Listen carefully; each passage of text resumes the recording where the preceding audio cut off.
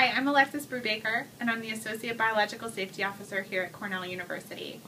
I'm part of the EHS Interactive Initiative to bring you biological safety videos that will help you through your everyday research activities in the lab.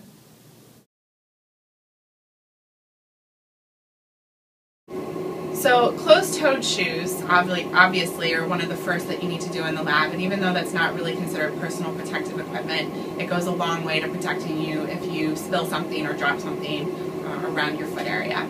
Next of course is lab coats and gloves.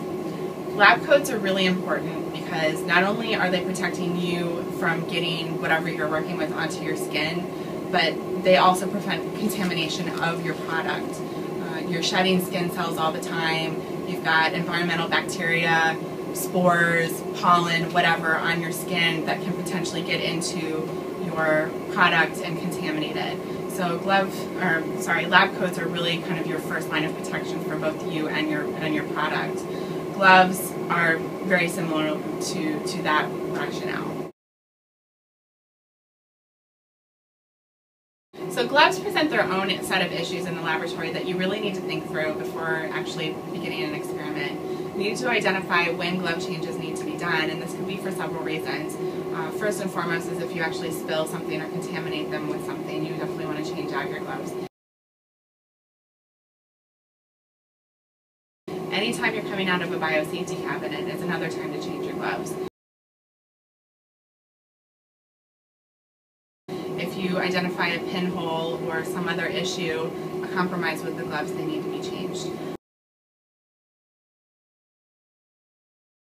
You need to be concerned about dexterity and wearing the right size gloves. So if they're too small, they can actually create less of a barrier on your skin and not provide the amount of protection that you actually need. You can see how thin that gets. That actually changes the protective qualities of the glove. And of course, if they're too loose, that can create major dexterity issues, which could lead you to drop things or slip um, something from your grip. So be prepared and kind of know ahead of time when you need to change your gloves. Proper glove removal, you really want to achieve two things when you're when you're removing your gloves.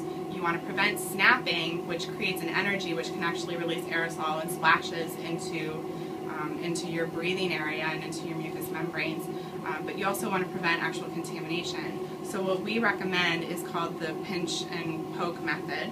Um, so basically you want to pinch the outside of one glove and very gently roll it inside out. You heard a little bit of snapping there.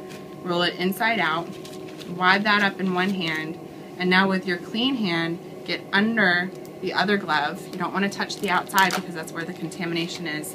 Roll that one inside out, and now you're left with one item that you can easily throw away.